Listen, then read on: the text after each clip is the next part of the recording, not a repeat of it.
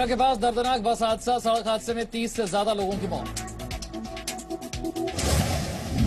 लखनऊ से दिल्ली आ रही double decker bus झरना नाले की खाई में गिरी, घटनास्थल पर राहत बचाव का काम जारी।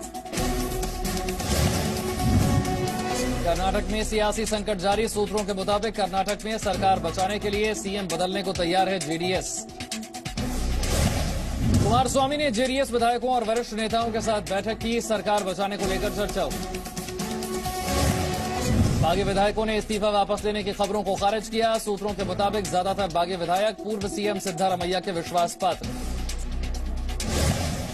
कर्नाटक कांग्रेस ने 9 जुलाई को बुलाई विधायक दल की बैठक। सिद्धारमैया का सभी विधायकों को सर्कुलर जारी किया। कांग्रेस ने विधायकों को वार्निंग दी, मंगलवार को की बैठक में शामिल नहीं होने पर कड़ी कार्रवाई की जा सकती है। बैठक में सिद्धारमैया के अलावा केसी वेणुगोपाल भी शामिल होंगे।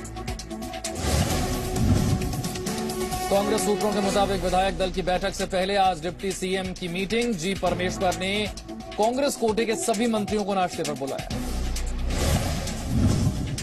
लोकसभा में आज आठ बिल पेश होंगे। गृह मंत्री अमित शाह, एनआईए और ह्यूमन राइट समेत तीन संशोधन बिल पेश करेंगे। जलियावाला बाग पर संशोधन बिल लाया जाएगा। अभी तक कांग्रेस अध्यक्ष जलियावाला बाग ट्रस्ट का अध्यक्ष होता है, लेकिन अब कोई भी बन सकेगा। भारत की सीमा में दस आतंकवादी घुसे, सूत्रों के हवाले से बड़ी खबर।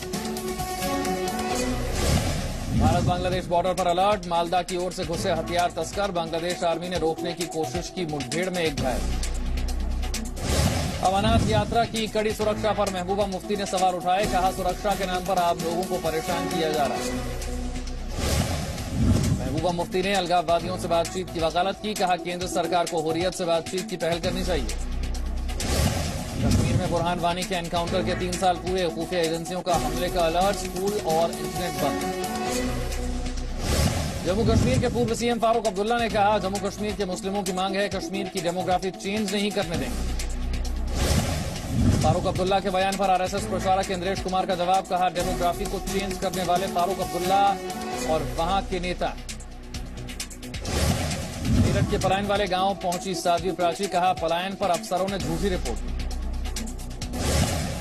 वित्त मंत्री निर्मला सीतारामन आज आरबीआई सेंट्रल बोर्ड के साथ बैठक करेंगी। बजट को लेकर चर्चा करेंगी। हिमाचल के कुल्लू में बर्फबारी, तापमान में आई गिरावट, सैलानियों ने लिया मौसम का मज़ा। हिमाचल के मंडी में लैंडस्लाइड एनएच थ्री पर कई घंटे तक यातायात प्रभावित। गुजरात के वलसाड़ में बारिश के बाद बाढ़ जैसे हालात, अगले 12 घंटे तक बारिश की संभावना, नदी किनारे नहीं जाने की चेतावनी। दिल्ली के जयपुर इलाके में सीएजी के ऑडिटर की हत्या। हत्या का मकसद साफ़ नहीं। बिहार में फिर से शुरू हुई शास्त्रार्थ की परंपरा। देश भर के विद्वानों ने कार्यक्रम में हिस्सा लिया। पंजाब के संगरूर में मिलता है आइसक्रीम का पकौड़ा। दुनिया कई जगह से लोग आते हैं इसे चखने